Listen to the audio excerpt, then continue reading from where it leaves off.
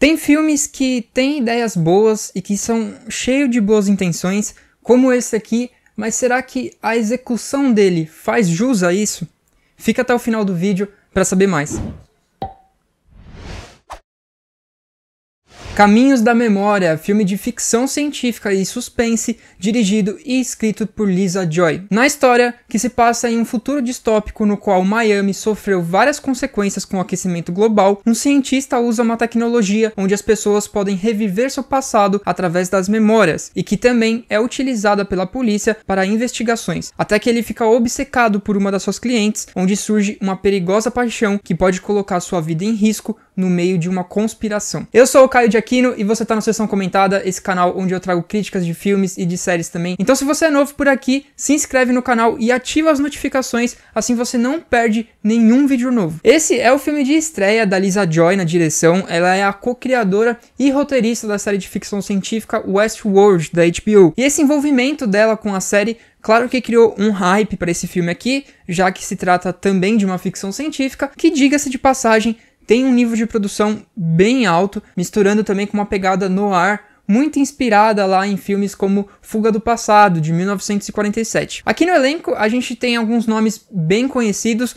como o Hugh Jackman, que faz o protagonista Nick Bannister aqui, conhecido aí também por já ter interpretado o Wolverine no cinema. Tem também a Rebecca Ferguson, interpretando a May, que é essa mulher que o Nick se apaixona. A atriz é bem conhecida inclusive, pelos filmes recentes do Missão Impossível. E a gente tem também a Tandy Newton fazendo a Emily Watts, a assistente do Nick, e essa atriz, inclusive, atua também na série Westworld. Um ponto que eu queria destacar do filme, além do elenco, é também a parte de direção de arte do filme que me chamou muita atenção. A gente tem aqui uma projeção distópica do que seria Miami daqui a alguns anos, com o aquecimento global e com o aumento do nível do mar, que para quem não sabe, a cidade de Miami já está no limite da elevação do mar e vem enfrentando vários problemas de inundações nos últimos anos, justamente por esse aumento no nível da água. Então no filme a gente tem várias cenas com paisagens e cenários dessa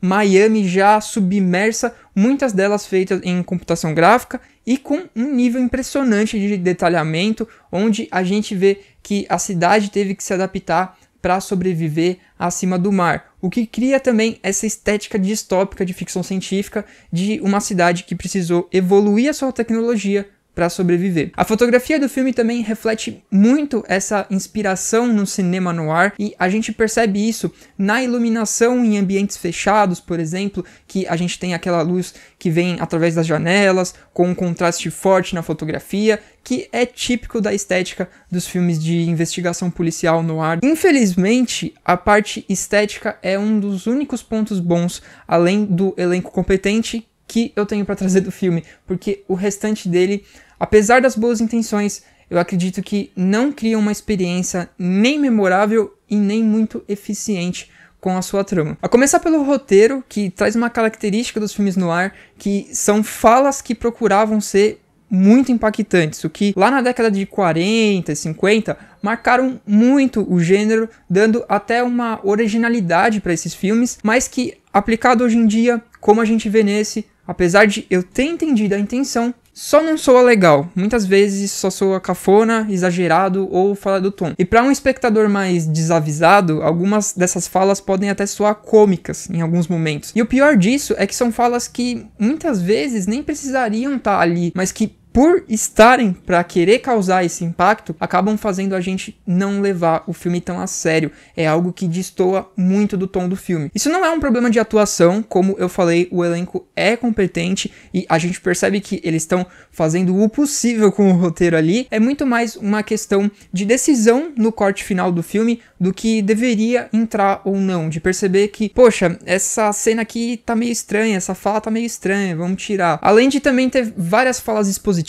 que tentam sustentar o desenvolvimento da trama, mas que muitas vezes só tornam a obsessão do protagonista com o seu par amoroso extremamente artificial. Não é uma relação que a gente consegue comprar e embarcar desde o início da história, e isso ao longo do filme vai desgastando muito o nosso interesse pelo mistério que envolve a trama. Existe uma questão interna do personagem ali a ser desenvolvida com aquela paixão que ele se envolve, mas que a gente nunca enxerga isso em tela, é algo que só é falado. Então, essa obsessão muitas vezes soa forçada. E muito do que se desenvolve na trama com a investigação desse mistério também não flui legal. Tem muitas coisas que se resolvem muito fácil ou que se desenrolam de epifanias de algum personagem que fez alguma suposição e isso também compromete muito o nosso interesse na trama. Então, como eu falei, eu acho que esse é um filme cheio de boas intenções que pode sim ter o seu valor de entretenimento, tá? Eu não vou ser